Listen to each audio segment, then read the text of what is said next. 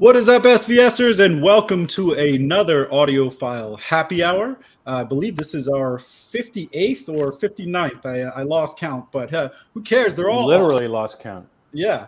Uh, but welcome, and uh, for anyone who might be here for the first time, uh, this is uh, the audiophile happy hour. We're all members of the SVS team here. I'm joined to my left by Larry McGour, National Training Manager. How are you, Larry? I am great. Good to see you guys and everybody here online. And of course, just below me, I have our president of SVS, Gary Yacoubian. Gary, I see you're not at home. Uh, where are we uh, tuning in from today? I'm, I'm in Los Angeles. Hopefully, my hotel Wi Fi uh, holds up during our show. And I'm really happy to. Uh, this is great to have one where we're just having a normal one where we're not somewhere. Um, so, uh, I, and, and we have a really great guest. So, really looking forward to it. And I want to uh, give my warmest greetings to the SVS community. I'm seeing the comments coming fast and furious. I agree. We're going to have quite a bit of travel coming up, which we'll get to in a minute, and uh, we'll be doing some more remote broadcasts. But I agree with you, Gary. It is nice to be doing one from home. Uh, and of course, we have our lead sound expert here, the Wiz, with the lightning round Q and A. That would be Mr. Ed Mullen. Ed, how are you? Doing grand, Nick. Doing living the dream.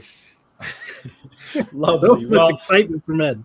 I know it. He's feeling it. I can tell. Well, uh, you know, you know, I, I we should do the math of how many pri- how much in prizes we've given away in these because it just I just did a little thumbnail that it's probably over well over a hundred thousand dollars in prizes that we. Oh, we were over a hundred thousand uh, dollars. I think towards the end of last year. Yeah, so the end of last we're year. Probably pushing yeah. about two hundred k now. But I'll, I'll I'll do that math for you. We'll figure it out. That's fun.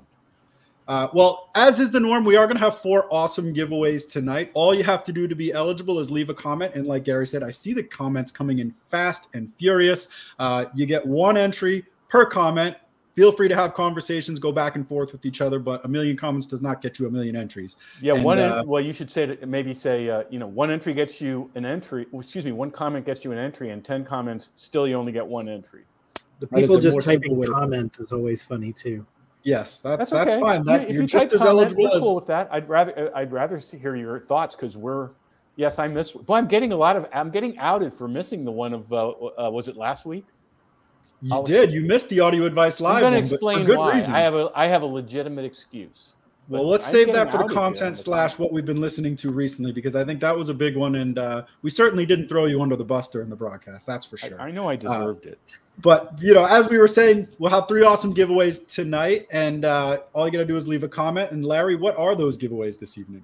They are. We're going to kick things off with a pair of Prime Elevation speakers, then a PB 1000 Pro subwoofer, and then to wrap it all up, we have an SB 2000 Pro subwoofer as well. So uh, we got some great giveaways for you guys tonight.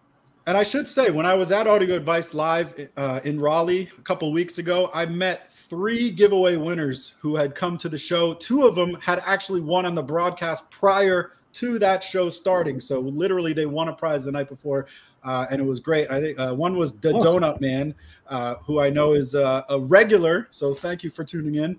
And uh, you know, we, we just appreciate everyone coming to these live events and uh, and letting us know that they tune in. It's just it's why is he the donut man? Did he bring you donuts or what? he did not, but he owns about four subwoofers, so uh, he can he can name himself whatever he wants, and I'm cool nice. with that. Um, but uh, you know, I think we've we've all had a, a little bit of of a chance to kind of be tuning into some new things. And uh, we do have a, a, really special guest tonight. He's a second time viewer. So before we get into our content recommendations, what we've been listening to, uh, Matt Yocum will be joining us in a little bit. He's a sound engineer. He's worked on all sorts of movies, TV, podcasts. So we're looking forward to geeking out and getting deep into the world of sound engineering and making immersive audio. So, uh, very much looking forward to that. But, Gary, I know you're chomping at the bit to talk about what you've been listening to recently and where you've been. So, we'll start with you uh, as far as uh, that goes. Well, my legitimate excuse is uh, my uh, sons, who are 25 and, and 23, John and Chris. Uh, August the 3rd was Chris's 23rd birthday. Um, they reached out to me and they're like, Dad, Lollapalooza has really good headliners this year. We should go for Chris's birthday. Um, and anyone knows about Lollapalooza, it's a massive, massive festival. They have eight stages uh, in Grant Park in Chicago. Um, I, I, think it's something like 125,000 people a day go, which means it's the biggest festival in North America. Um, and the headliners were Billie Eilish, Kendrick Lamar, who my, my sons adore, and I actually adore him as well. And um, uh, the final act on the final night, after people ha- have been going, you know, for four days, seeing shows from one o'clock until ten o'clock every day, was Red Hot Chili Peppers. So they really had to bring it, and they really did bring it. It was just a, a magnificent performance, and and uh, uh, the three of us, my two sons and I, agreed it was the, probably the best. Con- and I've seen a lot of concerts, folks. The best concert I've ever seen. It was wonderful. And um, you know, from a recorded music uh, place, I don't remember if I said this on our last show, but I have been discovering Nick, someone who you brought to my attention. Um, Bring Me the Horizon, which is kind of started out as kind of a, I'm not sure what to call them, sort of a they sounded a lot like Linkin Park sort of metal, a little more, maybe a little more melodic than Linkin Park. And but now they have moved into a much broader footprint, and I think they're just great. Um, and they are actually SVS enthusiasts. Two of them have SVS products that they love. So it was really um, great discovering their recorded music, and I am going nice. to recommend that um, wholeheartedly to the SVS community. I do have to ask any new bands that you discovered while at Lollapalooza, new music that you got into just from being there? If I say this, you guys are gonna, if you know who this is, you're gonna be like, what an idiot you are. But I really enjoyed this guy, Yung Gravy, that you guys all hung out with in Las Vegas. I enjoyed the heck out of him. He is hilarious. Um, and so that was one. And then uh, Karol G was one of the headliners on a night where we didn't really have any plans, and, and, and that was great. So that, that's it. Wow, Yung Gravy with his uh, second plug on on the happy hour here. I, am yes. sure we're He's. Hilarious. He's yeah. absolutely hilarious. My my sons are like, Dad, that that music is too immature even for us. But okay. All right, Larry. I know it's been brutally hot there, and you had some live music you were trying to go to. What uh, what have you been into? Yeah, we've been staying inside. Um, but uh, I took this week off. I took a vacation this week because we had a bunch of concerts to go to, and it was so intensely hot that we uh, sold those tickets. But uh, we are going to go next week and see Counting Crows and Dashboard Confessional because it's kind of indoors. And Metallica's here tomorrow, so I might go. I'm debating and watching tickets or watching tickets. But uh, I did get to see Indiana Jones finally. Uh, I guess like two weeks ago, and I saw Oppenheimer Oppenheimer last week when I was in Chicago and I took my kids to see Ninja Turtles. Saw that in Dolby Cinema that weekend it came out, which was uh, maybe the best turtle movie ever. And I watched Fast X, and it was so stupid. Um, but we will absolutely be playing it at some of our events. So, Is that really uh, the tenth in the franchise? Yeah, man. They, Jason Momoa as a cartoon character, you know, I I don't know. how did you um, like uh, uh, Oppenheimer? I enjoyed it. It was, uh, but I like everything Christopher Nolan does. So, uh, so with the, the, Ninja Turtles, are we looking at another iconic bass demo scene, or will it still not top the uh, original? I don't know, man, but it had one of the most killer soundtracks ever. Uh, it's all '90s, you know, like hip hop. So oh, it was uh, okay. pretty awesome. I like that. Cool. Ed, how about yourself?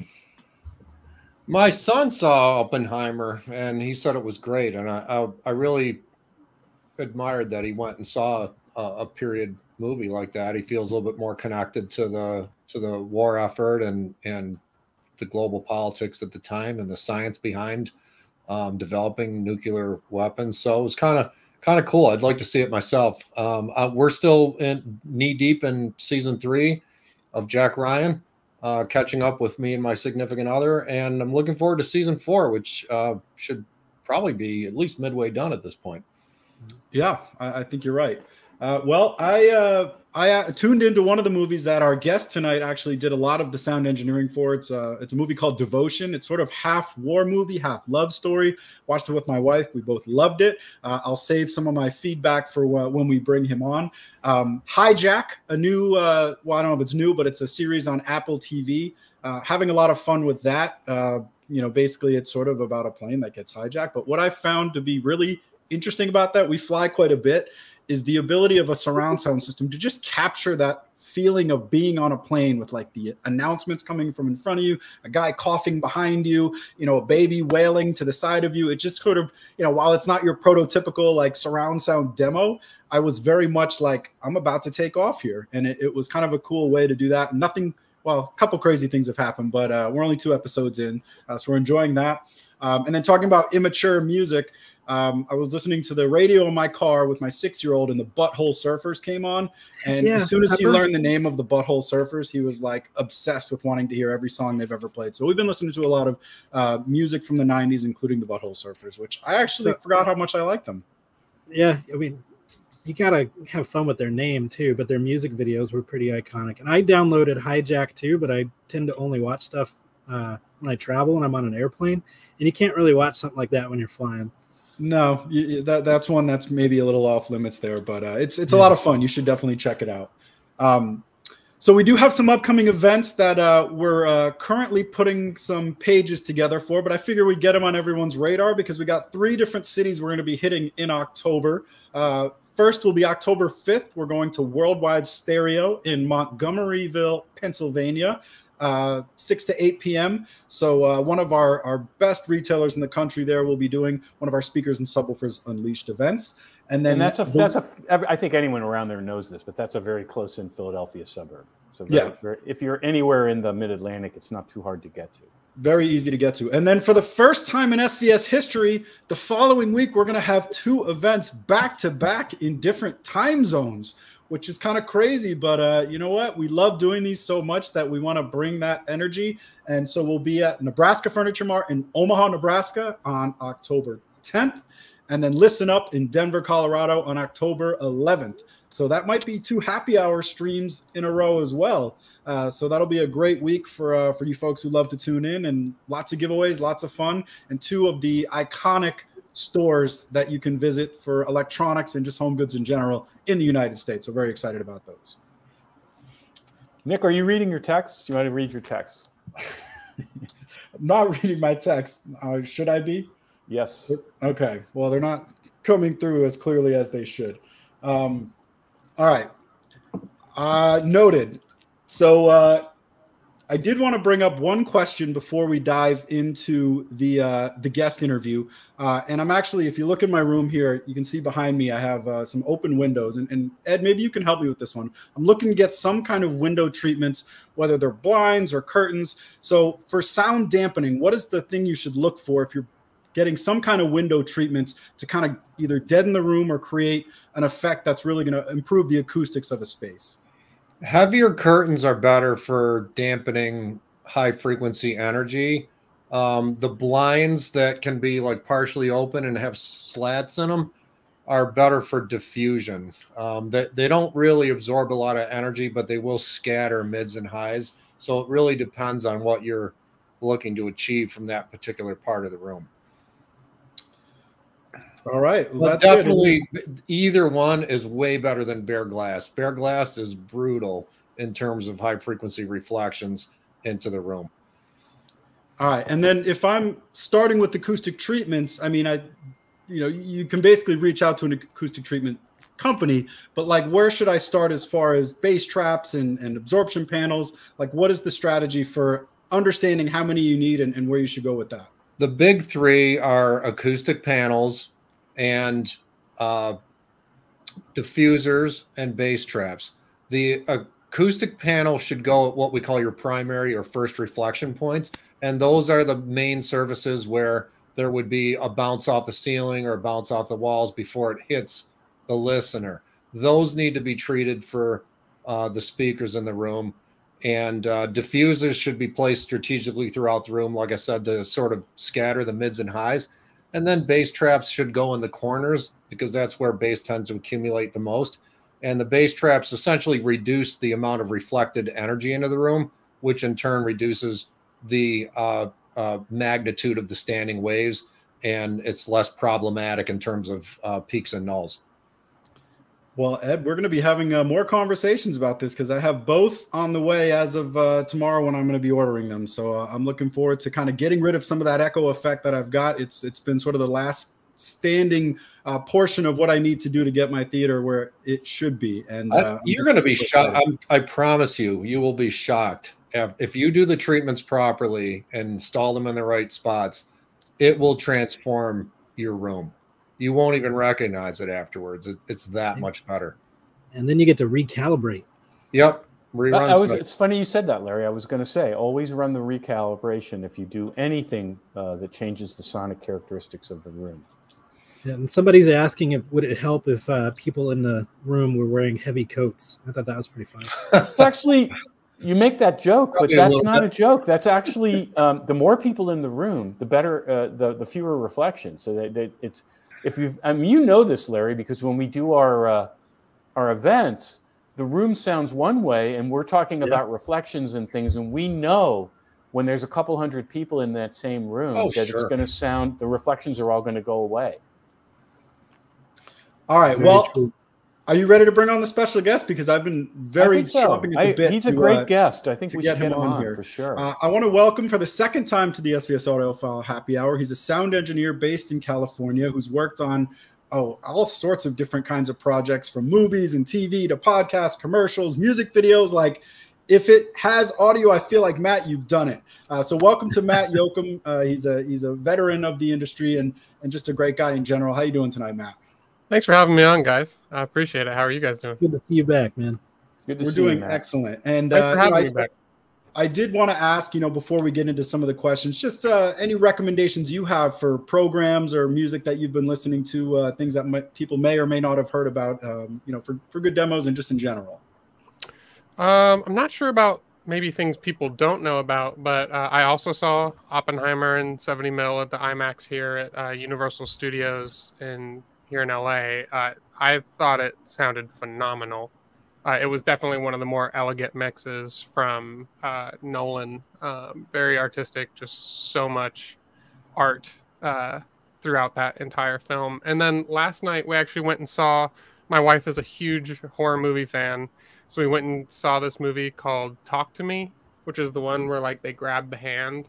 I thought it also sounded phenomenal. It was a really fun sound job and a like a as far as horror movies go, one of the more original and like unique IPs that I've seen. So uh, awesome. uh, we had a lot of fun watching that last night.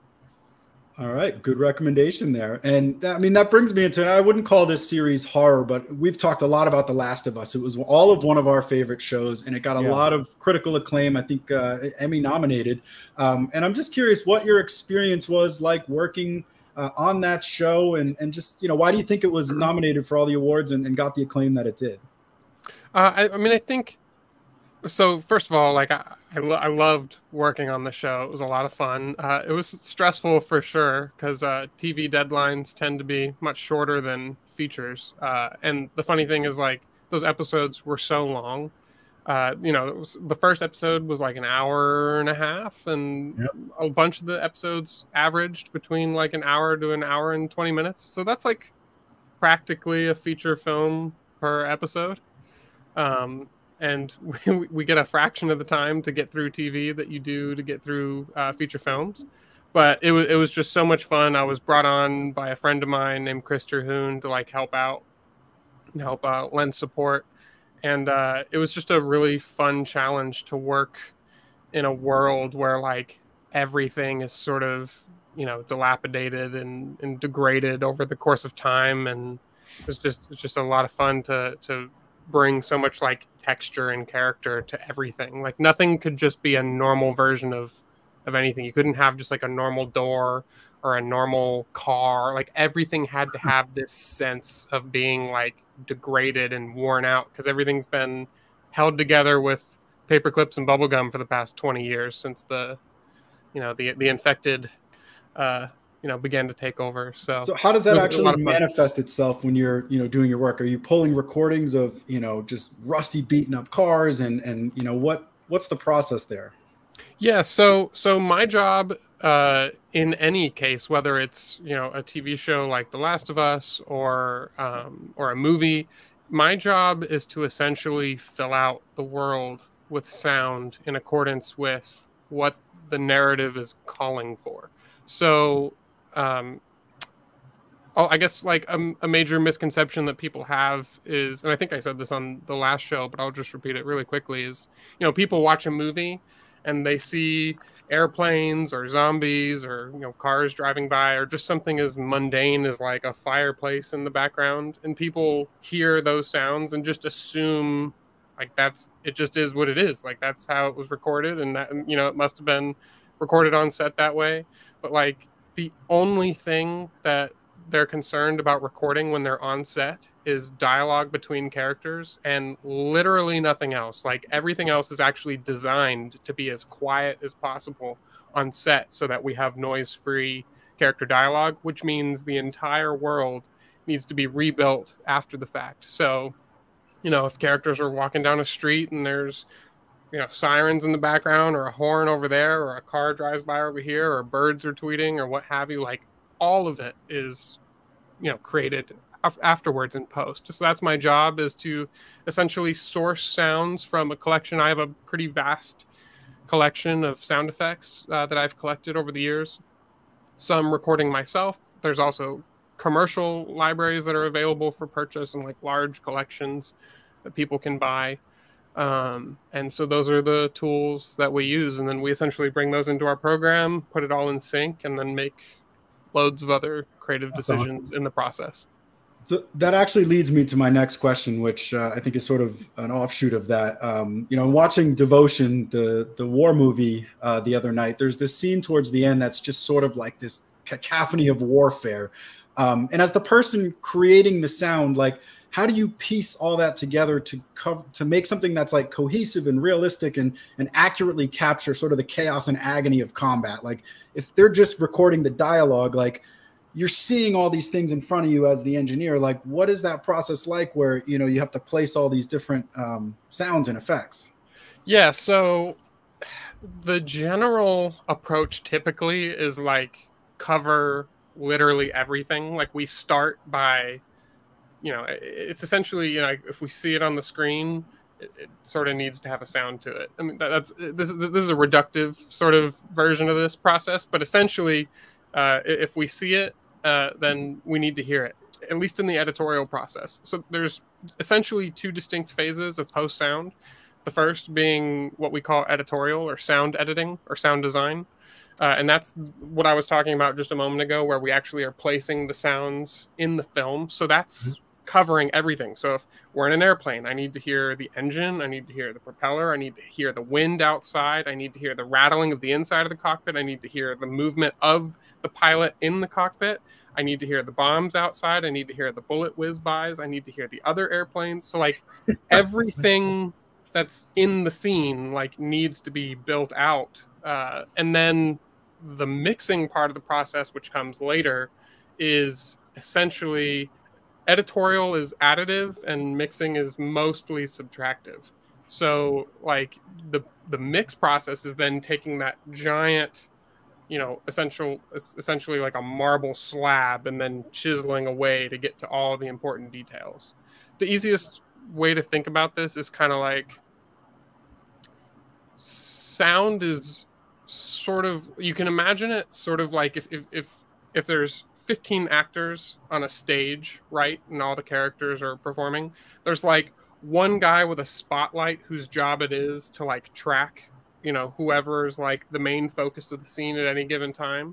And then that's kind of like what the mix process is. Like I may have provided all of those sounds that I was talking about, but we may only need to hear a few of those in any given moment. Like what's the focus? Like where do I want to drive the listener's ear to like what's the most important thing either for emotional impact or for practical reasons? Uh, so it's it's this process of like reducing and carving out what needs to be heard at any given time. So for a scene like that could that take exponentially longer than you know other parts of the movie which are mainly dialogue driven just because of how much is going into it? Yes. Yeah yes because i mean sort of by like virtue of sheer quantity of sounds that need to be cut, it can take longer, and there's certainly like more to do in terms of that shaping that I was talking about. It's more complicated, but um, it's funny though. It, it's not necessarily like harder to do the big bombastic scenes, and and I tell a lot of people like the hardest scenes are actually typically the really quiet ones because uh, when you're in a quiet scene you know so much is like focused and honed in on that character's dialogue that like if that dialogue wasn't pristinely recorded it can tend to stick out like a sore thumb and mm. when you're in a really quiet scene like all the little tiny nuances matter like i'm not worried about little tiny nuances when there's like you know, explosions going on. Um, it's you know, it's there's when you're in a really quiet, intimate yeah. scene, you don't have anything to hide behind. So those tend to be the more like meticulously crafted moments. So hmm. I, I, I totally experienced that. That the quiet moments when they're done right, they draw you in, and now this is when I start to feel like I'm in there with what's really, I'm there with what's happening on screen. And I totally get that. And when and when there's those, as you say, bombastic moments, they totally work, but it's not necessarily with a lot of subtlety. They're they're smashing mm-hmm. you over the head in many cases. Yeah, so, absolutely. Before we get to the next question, we do have a giveaway, and our first giveaway of the evening, as Larry alluded to, is a pair of our Prime Elevation speakers, and our winner of those speakers is Tommy Austin. Congratulations, Tommy! Reach out to info and make sure we get those shipped out. Uh, so you mentioned your wife's a big horror buff. I know you worked on the movie The Pope's Exorcist, and I'm just curious, like, it's got to be fun mixing sound for for horror movies and like trying to come up with ways to like create jump scares or, or I don't know. I mean, just tell me about if that's different or, or you know what sort of you get out of a process where you know it's a different genre like horror versus something that maybe is more like you know subdued. Yeah, I mean, like one of my favorite things actually about working in movies and different TV shows is getting to work in such a wide variety of genre. Like I've been really lucky. There, there's some people who like have a career where they sort of become experts in one genre and like that's what they do, and that's great. But I love that I've had the opportunity to have like a breadth of experience in different genres um, because each one of them calls for like a sort of a different set of creative muscles to be flexed, if you will. Mm. Like it's just a different approach. Animation is very different from horror, which is very different from sci-fi, which is very different from like a historical period piece. Like they're all just like a different part of your brain and like part of different parts of your library that you have to exercise and like design chops that you have to bring to the table. Um, but you know, something like The Pope's Exorcist is particularly uh, fun to work on for a while because it's like for those of you who have seen it, it's just such a bombastic sound job. Like there's just a bunch of really big, crazy moments and insane, like basically every horror trope in any movie's like thrown into this movie. Uh, it's it's you know it's time to go scare the wife later. Yeah, but uh, it, it's it's a lot of fun. Like you know we sort of the direction uh, from Julius uh, on that. The director is was essentially just go as big as you can all the time. Like right. just just make it fun and huge and massive, and then you know like the supervisor on that one uh, was this great guy that I love working with, Robbie Stambler, and um, you know we would turn something in and he'd be like, "Yeah, we just made like the biggest thing ever," and the director would come back and be like, "Cool, how can we like amp that up?" Like, like it's already placing big. literal explosions under things that are not explosions on screen to just make them feel like big and impactful. But it's a lot of fun. Well, I thoroughly enjoyed it. I mean, do you have a favorite horror movie as far as sound goes, in, in terms of what it can do to really scare the hell out of you? Uh, that's a great question. Favorite horror movie sound? Um, I know Larry likes uh, Annabelle's creation. There's one yeah. scene within that specifically that we've demoed. A couple, a couple of my, uh, a couple of my friends uh, were responsible for the sound on a Quiet Place, which has got to be a great one. That's yeah. the one that comes to my mind. That that it's a, one. It's is... about sound. It's like it's kind of the perfect canvas. But they did it perfectly yeah, th- those were my friends, uh, Justin Davey and Brandon Jones. Uh, those guys are just incredibly talented guys, and uh, that soundtrack sounded phenomenal. See, you alluded to getting, uh, you know, really involved with a lot of different genres, and, and one of those uh, that you actually won an award for uh, was podcasts, and you know, the, it was specifically Left Right Game, and, and I haven't mm-hmm. heard it, but I'm just curious, you know, what's the mentality there mixing for a podcast since it is a purely audio medium? Like, what what do you need to do that maybe is a little different, or, or what's your methodology? Yeah. So uh, the interesting thing when I was approached to do these podcasts um, was that the the concept from the outset with this company called Q Code was, and they, they were kind of the first ones to really do this in a big way. Um, was they wanted to essentially create uh, like a radio play, but that was fully fleshed out sonically. So it was essentially like a movie that you would listen to without any visuals. Uh, the interesting thing also is that Dolby specifically came in to partner uh, with this project on, from the outset, and I ended up working with them and then later becoming a consultant for Dolby uh, because they wanted to develop their Atmos system uh, into essentially a contained format that was binaural for headphones. And so with the left right game, I actually don't necessarily recommend listening to it like on a stereo system. Uh, a lot of people listen to it in their car, but it was actually rendered binaurally. So the most effective way to uh, listen to the left right game is actually on headphones because you have the Atmos mix and everything moving around you. But it's a really fun, kind of heady sci fi movie um, or podcast, sorry. Sounds just like a movie and uh, it's just a really fun, engaging storyline. So the approach was pretty similar to any other project I would do. I mean, this was unique in terms of workflow because there's sort of a double-edged sword of not having any visuals. Like, like we learned pretty quickly throughout the process that it's both fun to not have visuals because I'm not necessarily having my hands tied to anything, and so I can kind of open up that creative box and kind of explore all these different avenues but on the flip side, somebody who's not read the script and is listening to this for the first time has to be able to listen to it and uh, actually understand what's going on. So it was uh, pretty interesting to try to straddle that line uh, of like making it fun and big and kind of crazy, but also making sure that it was contained enough that people weren't going to get just confused and lost in the cacophony. So that's, that's awesome. Yeah. I just looked it up right on my phone just now as you're saying it and downloaded it. So it's uh so I can listen to it later. Yeah, they, Matt, Matt I have a question about. Go for it. But but but it's not about sound. I hope it's okay. I'm uh, I've here I am in LA and I'm seeing it's a to- big topic in the local news the uh, fallout from the the two strikes and I'm and I'm I'm kind of wondering if you have anything you want to share about that either if, if from a personal perspective or people that you know and then do you have any insights for us on on uh, when that might end uh, unfortunately, I don't have any insights. I, I do know that um, the WGA is currently back in negotiations with the studios. Um, there's a ton of opinions flying around out there. You know, everybody's sort of contributing their own sort of thoughts on what's going on. Um, it's it, it essentially just boils down to uh, you know part, part of part of the reason that we have unions. Like I'm, I'm a part of a of a sound union out here, um, which is actually under a larger umbrella of post workers, um, is is to essentially just make sure that like like the entertainment industry can be pretty demanding and brutal and a lot of times the schedules are like you know demanding in order to get some of this content made and there's no shortage of content being made right like there's so many streaming platforms now and just so much being made uh, that sometimes it can be a little bit of a race to the bottom. Like, you know, somebody manages to pull something off.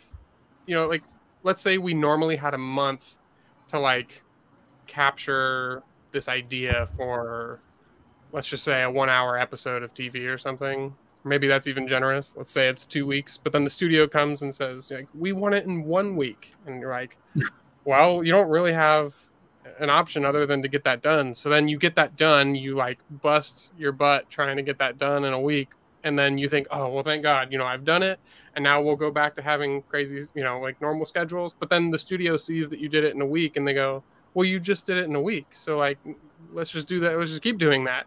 Like it was possible. And so it, it's this sort of like race to the bottom in terms of budgets and schedules, but that's part of the that's part of the job of the union is to like protect to make sure that we're not being uh, abused on hours, that we're being paid, compensated properly, that we have benefits. Because um, as you can imagine, as a freelancer, I work at many different studios. It just depends on the project, you know, whether it's Sony or Fox or Disney or Warner Brothers. Like, you know, I'm all over the place. And so to try to like have benefits from all these different places at different times and be juggling would be really difficult. So the function of the unions is to protect the workers, and that's what's going on right now. Like both the the WGA, the Writers Guild, and the actor, the Screen Actors Guild, um, have got you know demands that they believe are reasonable to keep their people you know happy and working and making this content, which makes the studios a ton of money, and the studios are fighting back against that. And there's there's a whole bunch of information that you can look up about that stuff, but it, that's kind of yeah. We don't need to go there. Yeah, no, but no, but it is interesting the way you said that, and I thought it, I think it was great. And and you know, it's easy to forget if you're in a business that your your business is supporting essentially an art form, and the artists are the energy, and you, and you're you're essentially you are an artist uh, uh, in what you do, and uh, the artists are creating the real value in that in that uh, in that business. And so it's easy to forget that if you're if you actually are the person running the business. And so it's I think it's a good good uh, reminder. Yeah. You know, at the end of the day, like the corporations, they're like a CEO's job is to make profit, and our job on the content side is to make art, like you said. And so yeah. sometimes those two directions don't necessarily align. Uh, but you know, we do what we can. I, am living the dream. I'm just grateful every day that I get to do this. So, uh, you know, I, I, get to make a living like playing around in a room with great speakers. Like and, I can tell you, the, a, lot of the commenters are like, "Oh, this sounds like my dream job." And, and let's not let, let's be honest here, Matt. You did have uh, quite a bit of education that went into uh, getting to where you are, so it wasn't like this was something that just you know you stumbled upon. Uh, but it, it, does sound like a lot of fun. Um, and, and, to you know to follow up on that, uh, I know you own an SB four thousand subwoofer, so I'm curious you know, there's some questions about the room and, and sort of your system behind you. Uh, two part question: How does the SB4000 play into you know your mixing and mastering process and the engineering that you do? Uh, and then what's different about the setup you have there in your home studio versus maybe what's in a, a typical home theater? Um, you know, are your objectives different when you're putting it together? Uh, just what yeah. can you tell us about your your actual system? Totally. So uh, I love my SB4000, and I'm not just saying that because uh, like no nobody's you know pressuring me to say this, but uh, not on I, camera, anyways. Yeah. Uh, but I, I, I truly love the sub. Um, it, it's it's it's a lot of fun, uh, especially to demo when you know friends come over and want to hear the room. Just crank it up a little bit, and have some fun. But uh, no, so the goal, you know, part of the reason I, I, chose the SVS sub was because you know one of the things that you guys espouse is is the accuracy, and that really is just the name of the game. Whether you're mixing music or you're working on film or TV or doing anything sound related, you always want to have an environment that you can trust. Like I want to make sure that when I'm working on something in this room, that if I go somewhere else, that it's going to sound somewhat familiar to what I was hearing in my room here. Always going to be different no matter what space I move to. But like, you know, one of the most satisfying things is, you know, I'm working in a t- literal a literal box. Like this is a 10 by 10 room, which is just about the worst shape and dimensions you can have for a workspace like mine. But it's filled with uh, bass traps and acoustic treatment, like I heard Ed talking about earlier. A lot of people I've heard people ask uh, before about these behind me. These are not speakers. These are probably like five inch thick bass trap panels behind me. This this is all acoustic absorption, and I've just placed my tchotchkes above for display. but uh, this is all acoustic absorption. I've got a ton of acoustic absorption in front of me as well as in the corners. I've got floor to ceiling uh, corner bass traps. These are all made by a company called GIK in Atlanta. They're made by hand and they're really, really great. Um, and so, you know, you asked about the difference between setting up a studio versus a home system like i said you know my goal in here is to be fairly clinical. Like i need i don't want my room to sound good. I want it to sound accurate. Like I, I don't need my room to sound pleasant. I need it to tell me if things aren't pleasant. I need to know if something's harsh or sticking out or if something's muddy and rumbly which is where the sub comes in like i need to be able to feed sound in and to get accurate feedback so that when i go from my little 10 by 10 room to you know one of the world's biggest dub stages you know down in culver city at, at sony it needs to translate and it needs to rock and sound just as good in a giant theater as it does here in my little 10 by 10 room. So accuracy is the name of the game for me.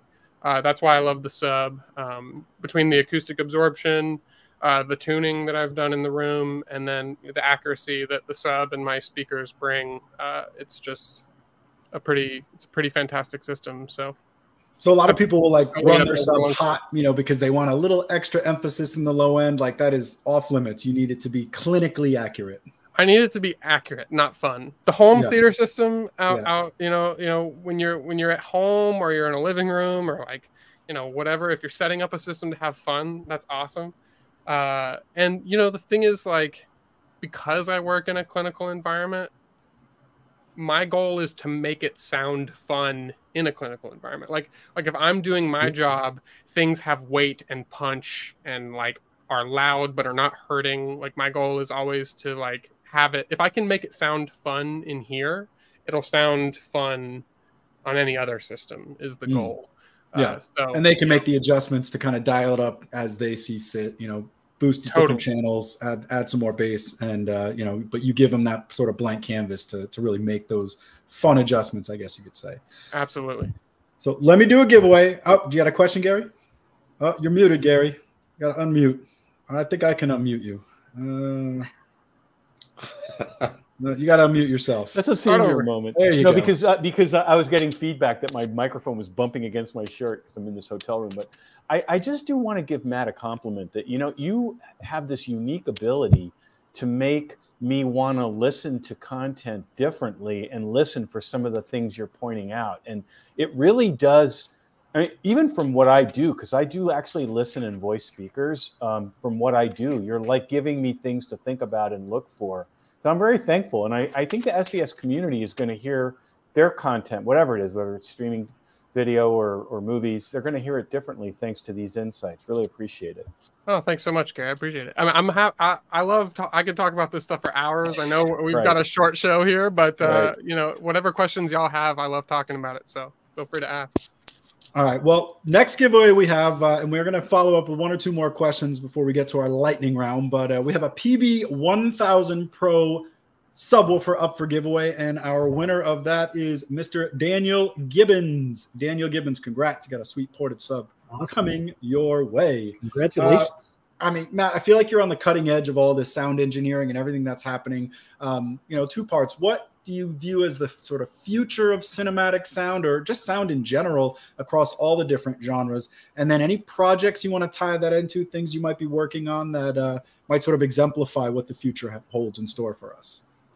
Yeah, sure. So, in terms of the future of sound, there's there's sort of two sides to it. So, uh, one is that um, you know, with Dolby Atmos becoming more and more prevalent, I mean, it's been around for a, quite a while now, like longer than people realize. But it mm-hmm. takes it's taken so much time to become like a ubiquitous uh, thing in the market. It takes, you know, understandably, it takes theater like both commercial theaters and home theaters. You know, people who are building their systems take it takes quite a bit of effort to install you know ceiling speakers. You've got to have speakers down the sides and it's like you know recalibrating everything to be able to sort of play back accurately.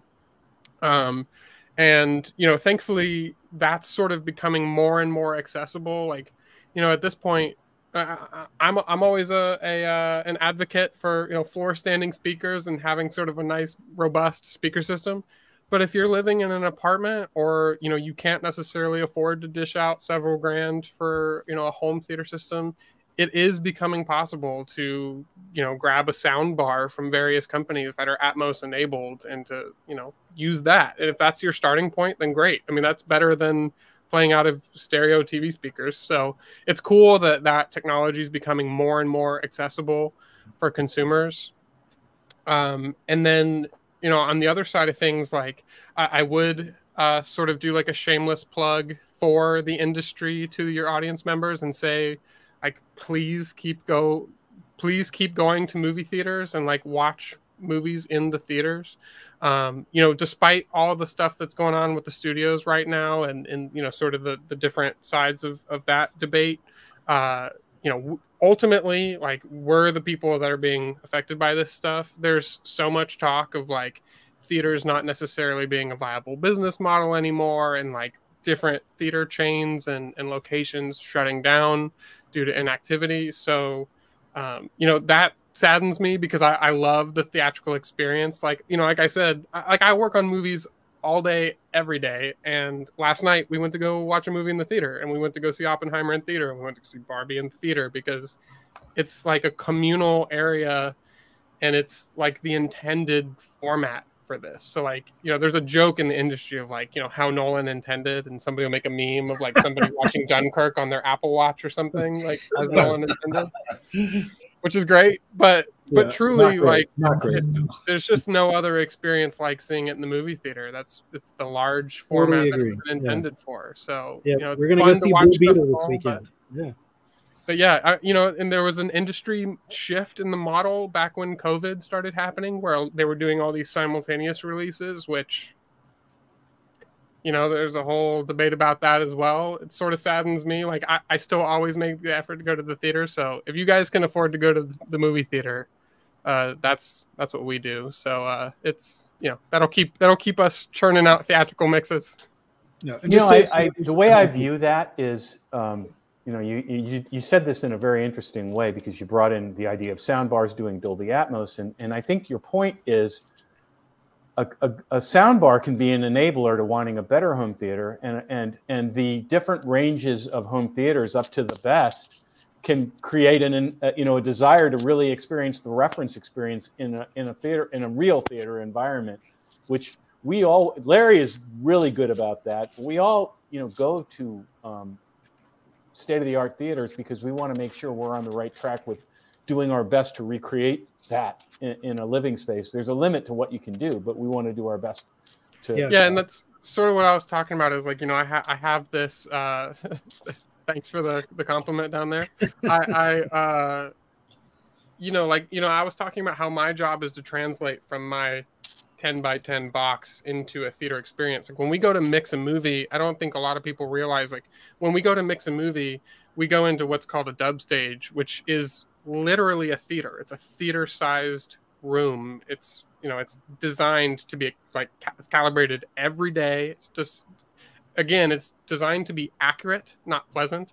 So it's just a very clinical, but it's a large scale space. Like the physics of moving air you know 30 feet from the screen to me is just different than a near field mix where I'm I've got a speaker you know maybe four feet in front of me. So even though we're calibrated at the same SPL, I saw somebody ask, um, you know, theaters are calibrated to 85 dB SPL, and that's what I'm working at at home when I'm working on a theatrical mix because uh, I want it to translate. And you know, there's some misunderstanding from like a misconception where people think it's louder because you're in a smaller room. Like that's the point of the calibration is that it's the same pressure level in a small room as it is in a large room. So physically, I'm receiving the same amount of mm-hmm. energy, mm-hmm. but the physical space, like being in a large theater, does change the way you feel and receive that information. So yeah. Anyway, anyway, that's a really long-winded uh, plug for please go watch movies in theaters.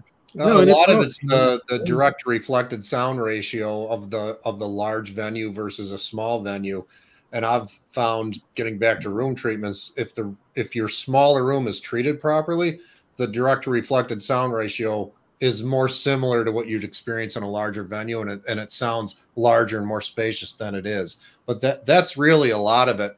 Um, it's really hard to fool the brain when you go into a big venue like an IMAX theater and your eyes are closed. You can tell you're in a big room, and you can tell the speakers are farther away, even if the sound pressure level is the same it's just a different experience. So and I, and totally I even personally I even personally tend to prefer the uh, the Dolby Atmos theaters over the IMAX. Just personally, I went to go see Oppenheimer totally in IMAX because of the scale. Yeah. But you know, the Dolby theaters have the the sort of THX baffle walls where the there's that extra layer of acoustic treatment on the front panel, so that secondary reflections are also absorbed, which affects sure. both high and low end. And so I feel the Dolby rooms tend to be a little tighter, a little cleaner, a little more clinical and more accurate to the mix that I'm used to hearing on a stage. Whereas the uh, you know the uh, IMAX rooms are just more kind of fun, and they've got that curve on both yeah, the low end and the high end that give you more, you know, just kind of like shakes you. It can also be like slightly more muddy, but you know, but it's also a discrete mix. So like an IMAX mix is a dedicated mix, separate from like a Dolby Atmos mix or a near field, uh, which I don't know if people realize that either. Like it's a separate pass. Uh, it's derivative of the Dolby mix, but there's a bunch of um, sort of tech changes that happen between an IMAX mix and an Atmos mix, uh, and the way low end is handled specifically. Actually, it's a crossover as a as opposed to a point one where it's a discrete LFE channel. Like IMAX, you get a bunch of low end for free. Yeah. like you have to start like rolling off low end on a bunch of sounds that you didn't have to before because it goes straight to the subs. But uh, but yeah, it's a lot of fun. Yeah, I'm well, definitely with you on Dolby Cinema over IMAX, and there's some movies I've seen in both formats, and I, I yeah, IMAX is the larger screen, but the Dolby Cinema is definitely the way to go get the best cinematic experience. Well, we all have different, we all get different sonic cues to yeah. uh, to believe what's going on is really happening, and so it, it it's there's some of it is human perception. So I would I would definitely recommend people going to to both types of theaters and and you know kind of get your get your frame of reference straight because it's you know it, you couldn't find a better time to go see a movie in a theater than right now. You don't have to fight to get a good seat. I mean, that, that that's a, just a, a, reality. And um, these state of the art theaters, uh, I, am still going to say we can probably do a better job just in sheer sound in a per, in a good room in a home. But you, Matt, you might disagree. But again, it all boils down to, and you certainly can't do as good of a job with picture. But it all boils down to creating a convincing experience, and a lot of that comes from psychological cues. We work at that a lot at SVS, um, but I think the reference is, is as you say, in, in these theaters. Yeah, and I, I'll, i guess the last thing I'll, I'll tack on, I don't want to use too much, use up too much more of the time here, but uh, you know, the last thing I'll say is like, I, and I, am you know I'm speaking to you know all of you guys who are you know speaker and subwoofer obsessed and like you guys are always chasing the best sound, which is great and admirable, and I do the same.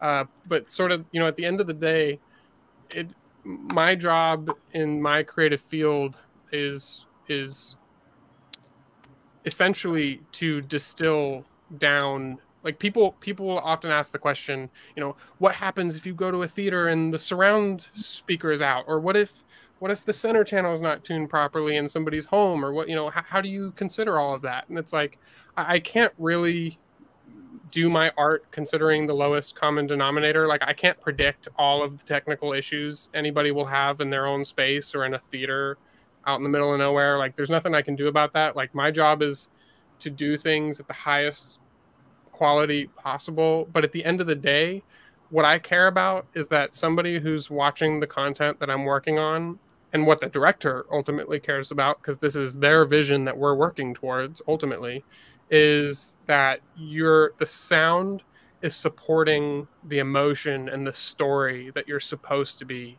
gathering from a scene. So mm-hmm. whether you're listening to a sound bar or you've got an incredible home you know theater Atmos setup, or whether you're in IMAX theater or Dolby theater, like whatever, as long as you're getting the emotional impact and that the sound is driving you to connect with the characters on the screen, that's what I truly care about at the end of the day. I'm I'm a nerd and I love all the tech stuff, but it's it's the art at the heart of it that uh, really matters to me. And if and if somebody walks away thinking something was fun or made them cry or made them laugh and we had a role to play in that, then that's what's fulfilling on my end. So. I think that's a great plate to end it, it. Uh, Matt. I mean, you're the kind of nerd that we love, and uh, if you want to check it out, you got you you should go back and look at this, Matt, and see all these. You're getting showered with comments here, so I'm, I'm afraid we're gonna we're gonna be asking you to come back if you're if you're cool with it at some point. I, I, I love like, talking to you guys. Happy to come back. Well, we're, we're definitely gonna invite you back. Check out Matt's I am uh, DB page if you want to see his full portfolio of work. It's really impressive, and I'm sure there's more exciting projects on the horizon. Uh, but you're just a, an awesome guest, fountain of knowledge, and uh, we appreciate you sharing some insights today. Thanks so much for having me on, guys. I love talking to you guys, and thanks for nerding out with me. Yeah, love it. Thank you, man. Thanks, All right. I, I, think I, I have to say, sometimes I'm texting Nick like, okay, it's I think it's time to move on from this guest. I, I never have that temptation with Matt. well, we, we got a five minute lightning round. So uh, I got a question right away. Uh, Biosker Posey asks, uh, he has two PB, th- PB 2000 Pros. He wants to know if he can add to SB 2000 Pros if he runs the PBs in sealed mode. Can he combine all four as long as the PBs are running sealed mode? I'm going to say yes. Yeah. Absolutely. If you you know, another move would be to to um, sell the um, PBs on uh, on the aftermarket or use our upgrade. We, we will take upgrade of of you know even within almost any period and and help just to have four SBs. But four SBs is a lot of firepower. Yeah, you know? it is. So yeah. yeah All right, next field, I think you can do it. Yeah. Yeah. From Dino Dodge, uh, he asks, he wants us to discuss room nodes. How do you find them? How do you work around them? And I guess maybe you should define what a room node is. Uh, I'll start, and then uh, well, Ed, you want to just do it? Maybe you're, you're sure. You'll, yeah. you'll go deeper in. I mean, it's it's really just the direct and reflected sound waves in the room um, colliding with each other, and sometimes they're going to reinforce, and sometimes they're going to cancel. So let and, me let me just make that a little bit more English. Um, sometimes the bass is going to go away in certain parts of the room at certain frequencies, and in other parts of the room, the bass is literally going to be double what it's supposed to be at certain frequencies. And that's because reflected and direct frequencies can either reinforce each other, as Ed said, or they can literally cancel each other out. And that creates problems, obviously, with the frequency response at the listening position. Uh, we we like to say we can deal with peaks a little more easily than we can with cancellation uh, nulls because peaks can be equalized, but nulls uh, are very difficult. In other words, you can reduce. It's not hard to reduce, but you can't keep shoving bass into a null because yes. it goes nowhere. Correct. That's allowed really everywhere else but there. Yeah. That's right. That's right. That's a really you're, you're dumping energy into a, a, into a black hole essentially in the room. Um, so you're better off moving the subwoofer to a different location that uh, is it results in a, a smoother, better looking frequency response with less nulls at the listening position, less cancellation points.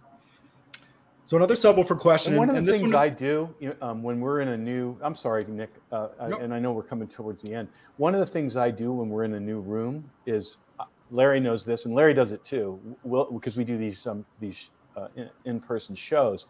We'll walk around uh, as we listen and, and listen for the nulls and listen for the parts where we're being bombarded with too much bass. Um, and there's lots of ways to deal with it, but you know, in a normal room, I'm not, and this is where Ed and I might not totally agree. I'm not the biggest fan of bass traps, which I think are a massive expense and don't really, uh, they, they improve the experience very subtly. Um, whereas just having two subwoofers, and that doesn't mean you have to double your budget. In fact, cut your budget in half for a single one and get two can eliminate 80% of the room nodes that you're experiencing just by having two instead of one. So I love this next question because it's weird, and I just love weird questions. Uh, T Town Scott asks, and, and this affects a lot of people, so maybe it's not so weird, just nobody's ever thought about. It. It's really hot here. Does heat affect sound? Planes don't take off in extreme heat. If it's super hot and humid, is can that actually impact the the playback of your system? we're not engineer. We're not, you know, we're it, it's just more. Uh, it's 111 degrees outside right now, and it's way more uncomfortable sitting in here in my office than it normally is. Um, All right, so, but, so, this might be an I don't know. Is this the first I don't know in the, the lightning round? Because we, I, I think we, uh, we, we, we I, here's what I would say: we test the performance of our speakers and and subwoofers in in extreme environments because of the reason we do is to make sure that they can um, survive uh, in pretty much any situation. We do drop tests, we do voltage uh, tests, we do we, we we run them really loud for long periods of time. We hit them with massive peaks, and we definitely experiment with different temperatures. And I can say that if the temperature is livable for a human being, it's fine for uh, high quality speakers and subwoofers. So it's I would say it's mostly a non-issue, other than Larry's point that hey, uncomfortable people maybe they're not thinking too much about sound. yeah. All right, last question, and then we'll, we'll wrap things here. Um, we have uh, somebody who's asking about the size of their room and whether it, you know, is there a ratio as far as uh, the room's 19 by 19 by 19, uh, music only.